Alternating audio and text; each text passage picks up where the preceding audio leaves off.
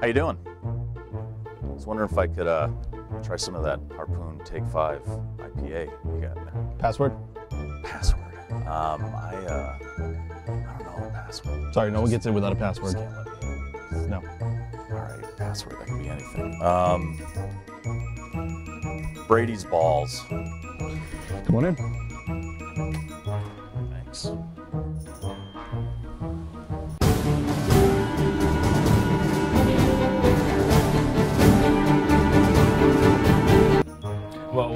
All right, sir.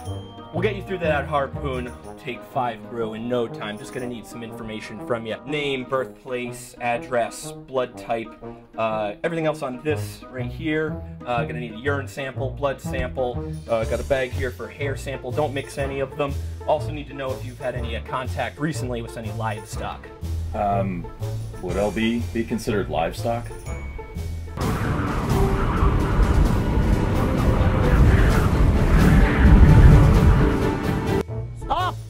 What is your name? Mike Hsu. What is your quest? To seek out the holy Harpoon Take 5? What is the average fermentation period of a harpoon UFO? Uh, Raz, White, or Hefeweizen? Well, well, I don't know that.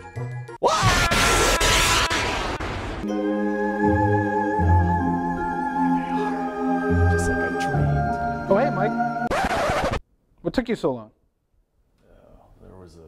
You know, if you wanted some of that Harpoon Take 5 beer, you could just head to the Harpoon Fest at the Harpoon Brewery this Friday.